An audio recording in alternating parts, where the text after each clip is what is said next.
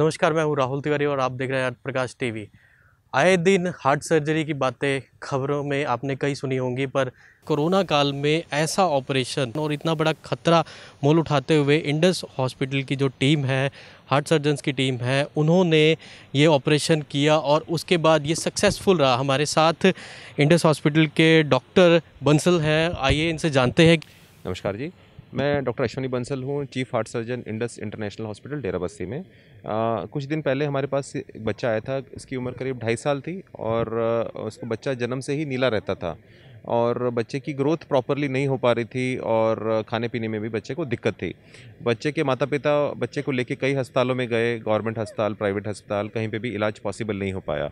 कहीं पे waiting list ज़्यादा थी कहीं पे खर्चा ज़्यादा था। माता पिता लोअर सोशो इकोनॉमिक स्टेटस से हैं और वो प्राइवेट अस्पताल में इलाज अफोर्ड नहीं कर सकते थे।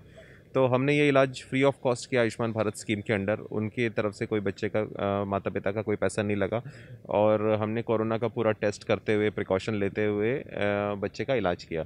बच्चे के दिल में छेद था और जो ब्लड लंग्स को जाता है वो रास्ता छोटा था जिसको हमने सर्जरी से ठीक किया। उसके बाद बच्चा जो पहले काफ़ी नीला रहता था हाथ पैर होंठ नीले रहते थे अब वो पिंक हो गए हैं खाने पीने में आराम है सांस में आराम है। आ, माता पिता अब बच्चे की रिकवरी से काफ़ी सेटिस्फाइड है हमने भी इको करके चेक किया है बच्चे का हार्ट अब नॉर्मल फ़ंक्शन कर रहा है।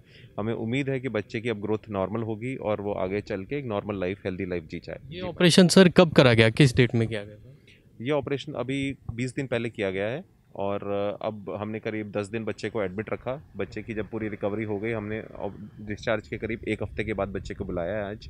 और बीच में इसके माता पिता हमारे टच में रहते हैं और रिकवरी के बारे में हमको अपडेट देते रहते हैं।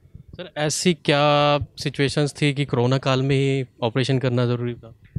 देखिए जो ये बच्चे होते हैं उनका एक साल की उम्र में ही अगर ऑपरेशन हो जाए तो बेस्ट रहता है। क्योंकि जैसे जैसे बच्चा बड़ा होता जाएगा, नीलेपन की वजह से बाकी ऑर्गन्स को डैमेज होता जाएगा लंग्स को ब्रेन को, और क्योंकि ऑक्सीजन सप्लाई एडिक्वेट नहीं मिल पा रही है। तो ऑलरेडी बच्चे का ऑपरेशन डिलेड था एक डेढ़ साल। तो उसको अब और छः महीना डिले करने से हम शायद वो रिज़ल्ट नहीं पा पाते जो हमने अभी अचीव किया है। अभी हमारे साथ जो बच्चा है, दो साल का, उसके फैमिली से उनकी मदर है, आइए उनसे बात करते हैं। मैम, आपको कब पता चला कि बच्चे को ये प्रॉब्लम थी? सर, इसको तो पता चला जब बचपन जब से पैदा हुआ तभी से पता चला इसको दिल में छेद है। तब से वही बिहार में इलाज करवा रहे तो वहाँ से कुछ नहीं हो रहा था। फिर मैं यहाँ आए चंडीगढ़ करनाल आए करनाल में फिर दिखाए तो वहाँ पर भी डॉक्टर नहीं बताए यहाँ पर ही नहीं होगा। फिर पीजी आए हैं, पीजी आए में भी नहीं डॉक्टर ऑपरेशन नहीं कर रहा था। फिर वहाँ पलवल गए पलवल में भी नहीं बच्चे नहीं सही रहा था पलवल में भी नहीं किया। क्या सिम्टम्स दिखाई दे रहे थे सर इसको सर नीला पड़ रहा था खाना नहीं खा रहा था बढ़िया सो नहीं पा रहा खेल नहीं चल चल नहीं पा रहा था। अब ऑपरेशन के बाद से कैसी स्थिति है? सर अभी ऑपरेशन के बाद ठीक है खाना भी खा रहा है खेल रहा है चल रहा है बढ़िया से। ऑपरेशन के बाद है आज बीसवा दिन है बीसवें दिन पे ये बच्चा बहुत ही अच्छी तरह से रिकवरी कर रहा है, जो हार्ट पेश हार्ट की जो प्रॉब्लम्स होती है और बच्चों में, बच्चों के दिल में छेद की जो समस्याएँ काफ़ी देखी, देखने को मिल रही है इंडिया में, उसको लेकर आयुष्मान भारत एक मुहिम की तहत इंडस हॉस्पिटल डेराबसी ने ये ऑपरेशन कर दिखाया। वो भी कोरोना काल में ऐसा ऑपरेशन किया जो कि सक्सेसफुल रहा।